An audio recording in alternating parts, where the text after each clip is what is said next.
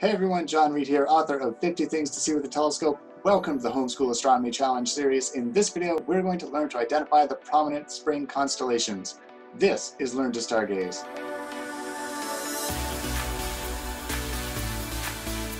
With the winter constellations setting in the west at sunset, a new and exciting group of stars takes the stage.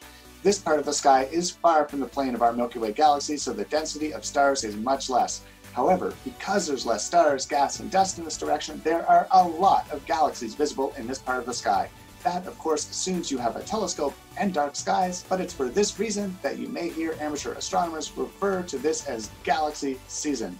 The first thing you notice when observing in the spring is the very prominent constellation Leo, accented by the bright star Regulus and the reverse question mark shaped asterism named the sickle, a tool for harvesting grain.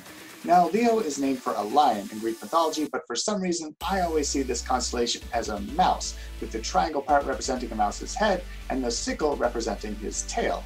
If you remember back in video 15, Stars You Should Know, we used the stars in the handle of the Big Dipper to arc to Arcturus. Well, Arcturus is the brightest star in the constellation Boötes, which is an ox driver in Greek mythology. However, I typically just call this star pattern the ice cream cone. Moving on, as you'll recall, after we arc to Arcturus, we then spike to Spica, which is in the constellation Virgo, which is identified by this diamond pattern.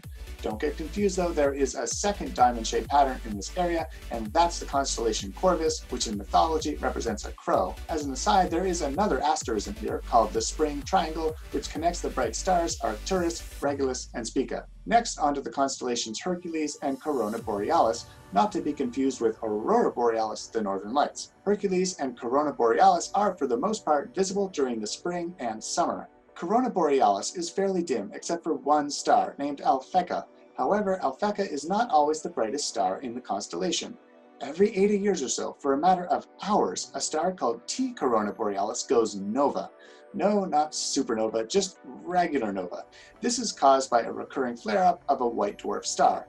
This nova is estimated to occur again in around 2026, or about six years from now. Hercules is known for the asterism called the Keystone, which can be used to find one of the most popular stargazing targets in the sky, the Great Globular Cluster in Hercules, which is visible in binoculars and small telescopes. There are several springtime constellations consisting of dim stars that are a challenge to view from the city.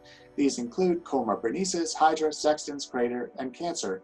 The only one of these that I really pay attention to is Cancer, because in the center of this constellation lies M44, or the Beehive Cluster, which is a beautiful target for both binoculars and small telescopes. If you're following along in the 50 Things to See with the Telescope activity workbook, the spring constellations are found on page 23.